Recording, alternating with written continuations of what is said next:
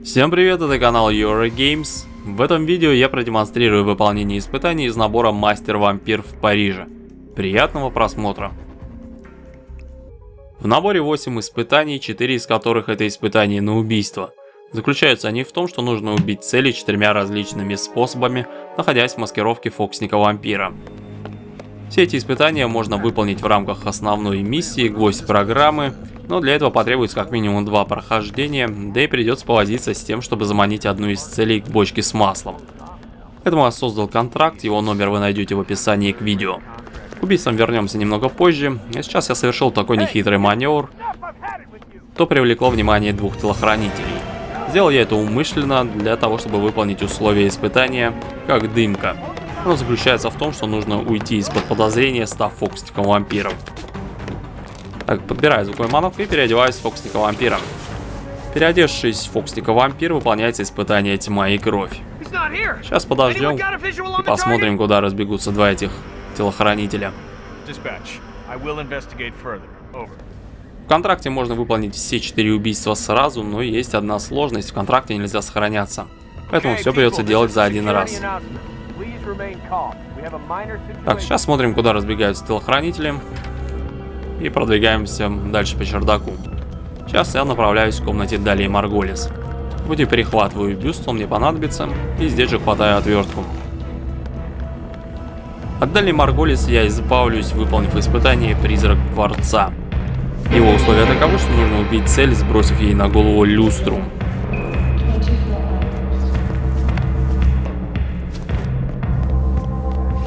Арголис вот-вот здесь появится, но для начала я избавлюсь от телохранителя в ее комнате.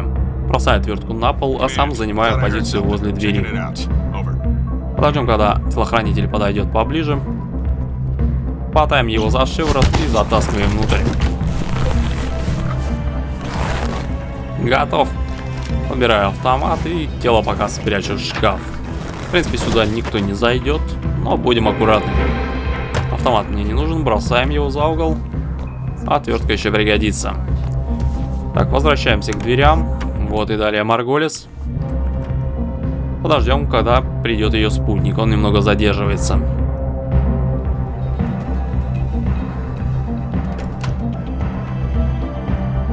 А вот и он.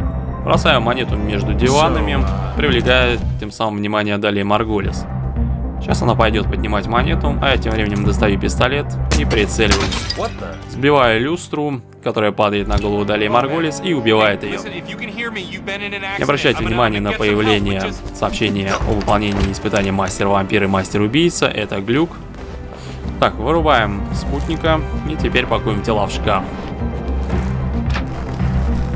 В эту комнату, в принципе, тоже никто не придет, за исключением, пожалуй, Хельмуда Крюгера и шейха.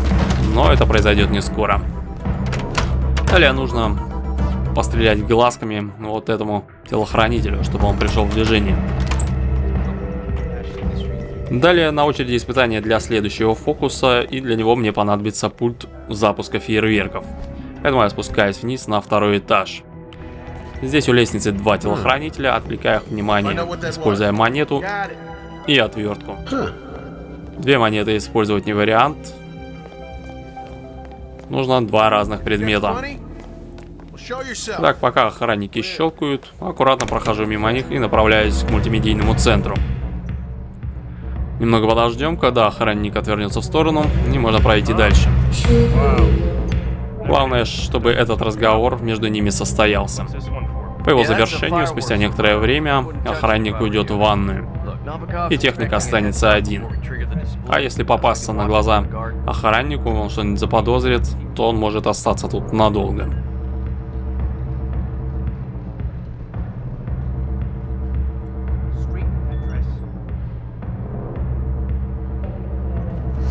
Условия испытания для следующего фокуса следующие. Нужно убить цель взрывом маслосборника. И при этом это убийство должно произойти во время фейерверка.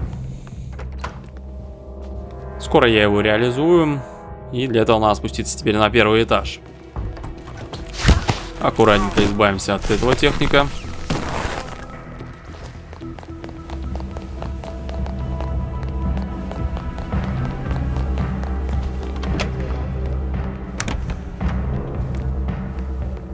Сейчас я направляюсь к одному из служебных входов, где и находится вторая моя цель. Это один из сотрудников дворца. Здесь самое сложное это точно бросить монету. Целюсь я примерно в угол ящика дальнего. Далее устраиваю утечку масла из бочки и запускаю фейерверк. Цель подходит к бочке, ждем, когда масло разольется и поджигаем лужу выстрелом из пистолета. Готово. Так выполняется испытание для следующего фокуса. От этого техника, который меня сейчас заметил, тоже нужно избавиться, чтобы он не мешал мне в дальнейшем устранить Виктора Новикова.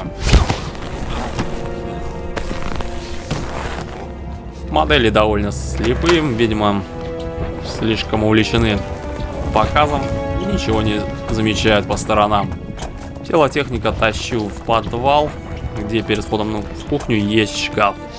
И спрячу его там. Делаю это по двум причинам. Во-первых, на лестницу я еще буду заманивать телохранителя Виктора Новикова.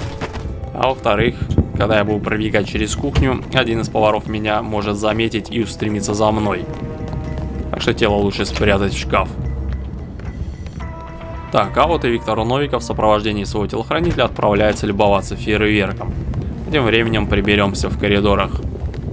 Избавлюсь вот от этой модели, которая также может стать свидетелем убийства Виктора Новикова.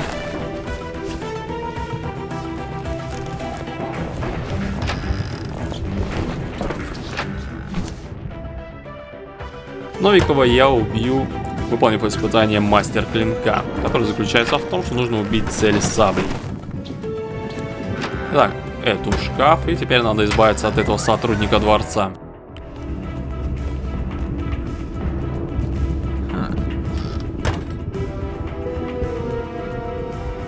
Обратите внимание на плащ, в отражении он приподнят. Вот так вот в рук зеркала нам. Так, это вот уже в шкаф. Подбираю монету. И теперь нужно отправиться за саблей.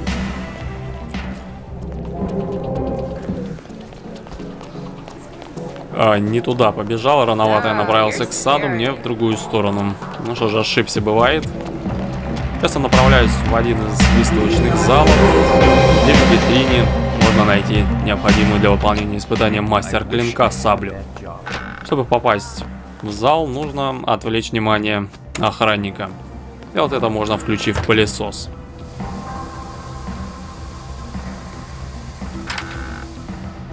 Запускаем внутрь, прикрываем дверь, чтобы никто нам не мешал. И вырубаем. Тело тоже лучше спрятать в шкаф. Потому что порой его подруга заходит сюда и, видимо, в поисках своего приятеля. А так, надежнее. Что ж, заходим в зал. Здесь есть один техник, который следит за обстановкой. И нужно отвлечь его внимание. Разбиваю витрину, витрину рядом с ним. И разбиваю витрину, в которой находится сабля. Забираю необходимую саблю и направляюсь дальше. Конечно, можно было отметить в контракте этого техника, но это было бы слишком просто. Через окно в туалете выпрыгиваю во двор и сейчас я направляюсь к подвалу. Здесь я, во-первых, уничтожу улики с камер видеонаблюдения, ну а во-вторых, по подвалу гораздо проще перемещаться из одной части замка в другую, тем более с саблей в руках. Открываем двери, свой пистолет и выцеливаю устройство записи. На камеры наблюдения я еще не попадал, но это обязательно произойдет, когда я окажусь в дворцовом саду.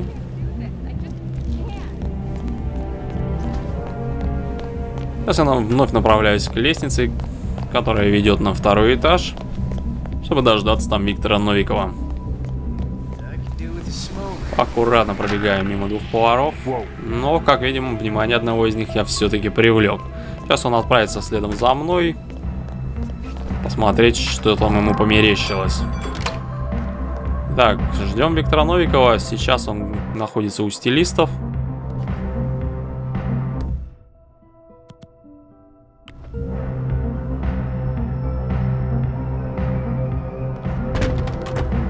И еще одна отвертка. Возьмем, пускай будет.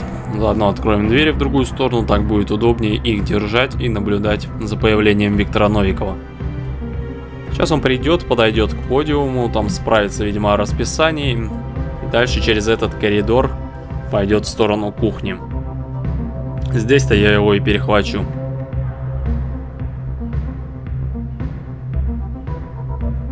Мастер-вампир с отверткой.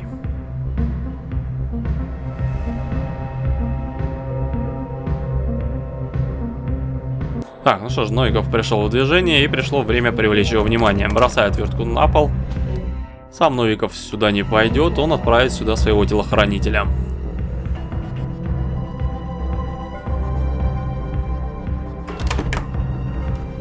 Так, прикрываем дверь, чтобы Новиков ничего не увидел и не услышал. И вырубаем охранника. Теперь нужно подождать, когда Новиков придет в движение.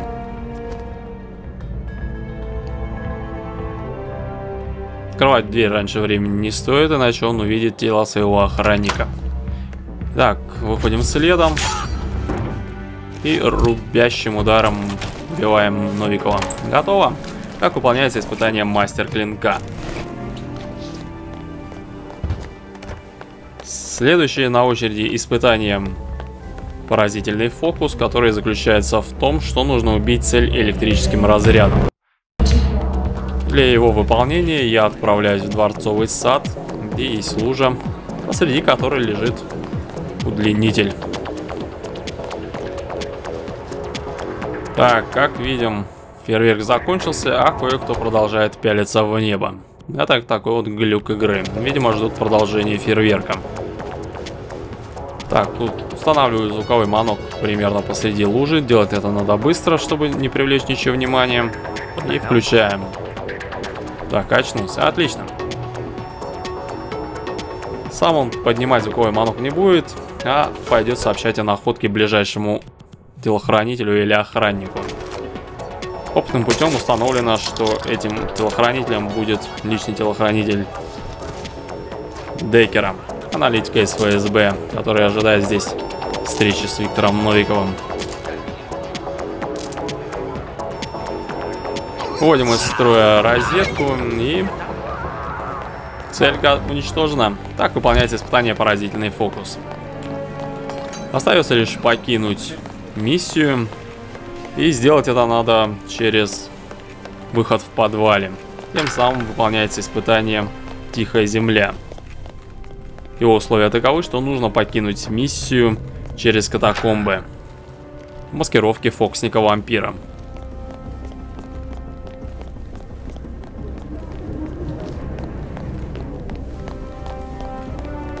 Аккуратно, чтобы не заметили повара. Скрываемся во тьме. Ну вот и все. Все 8 испытаний за один раз. Надеюсь, вам понравилось. Пользуйтесь контрактом. Напомню, его номер вы найдете в описании. Спасибо, что смотрели. Ставьте лайк, подписывайтесь на канал, комментируйте видео. Желаю вам удачи, агенты.